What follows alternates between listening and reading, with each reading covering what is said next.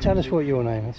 My name is Thelma Waller, And you're the granddaughter or the great granddaughter, granddaughter granddaughter, of William Henry Hall, who designed and helped build Maud. and we're on the Maud today, aren't we? Indeed. And, and he was hit. So your grandfather, when would he have been born? Um, 1879, I think, around Um, then. Where was he born? He was born in Reedham, and he came from the Hall family, Right. who had the Wherry Yard at Reedham. And which is where W- Wherry Maud was built in Yes. 1897. Nine. Yeah. 1899. Yes, Okay. And you, you actually met your grandfather. yes, I did. Uh, he was a lot. He died when I was 12, so I knew him really well for, for those 12 years. So what? Tell us what you re- remember about him. He was only a very short man, and he had um, a finger missing on one of his hands. Carpentry accident. I think so, um, and I would never hold that hand because I didn't like the feel of his fingers squashing up in my hand. So I would always go round him and hold the other hand if we were out together. Yeah. He also had um, he, he, a bald head, but hair round the end, round the outside, a few strands just going over the top. And he, when I was very small, he would sit very patiently while I brushed his hair and and brushed these few hairs over the top. And we always used to say, oh, we had nine hairs and a nit. I see. That's where that came from. But he didn't really have head lice.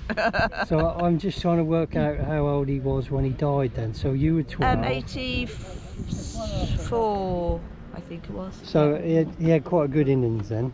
He did, yes. Yeah, and he spent most of his life on the on the boat with boats. Well, he they moved my he and my granny when they got married in 1909. They'd they moved first to Brundall in Norwich, where he worked on a boatyard, and then he worked his way to Oulton Broad Right. and worked on a, on a boatyard on Lake Lothing Okay. for a time, and then he, he went out of that into a, um, a carpentry job at the silk factory in Oulton Broad. But most of his life he'd, he'd built boats. And his father was also a boat builder. His father worked on the yard, and it was his grandfather who started the Halls Yard in Reedham Right. in the early 1800s. Okay. And you've been over to where the yard was. Oh yes, Yeah. yes, definitely. Do you remember it from from when you were a child or? I only ever once went over.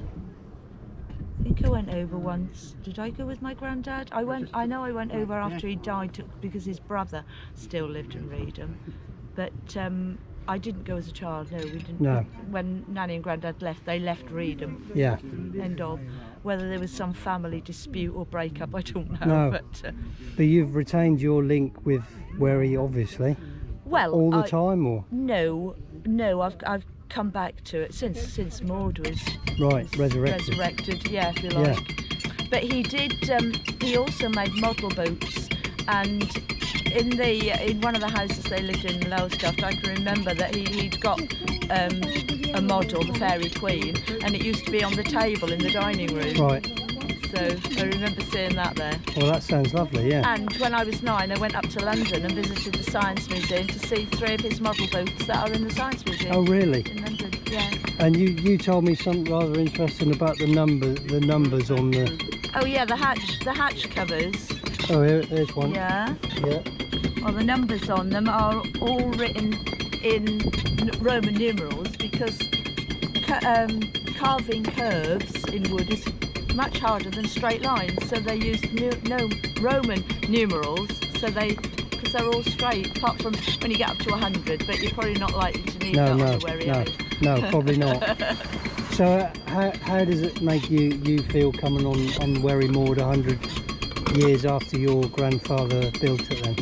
I always loved him to bits. Yeah. And I'm even more proud of him now than I was. And I just wish he could know that I've taken up the interest and he'd be tickle pink Yeah, I'm sure to he know would. that I am interested. And you're very proud of him, I am clearly. very proud of him. Yeah. Yeah. Yeah. Well, part we of all an are. iconic part of an iconic trade of this part of the world. Yeah, Yeah. because there's really only two left like this, isn't Yes. there? Two Yeah. trading areas. Yeah. Thank you very much, Thelma.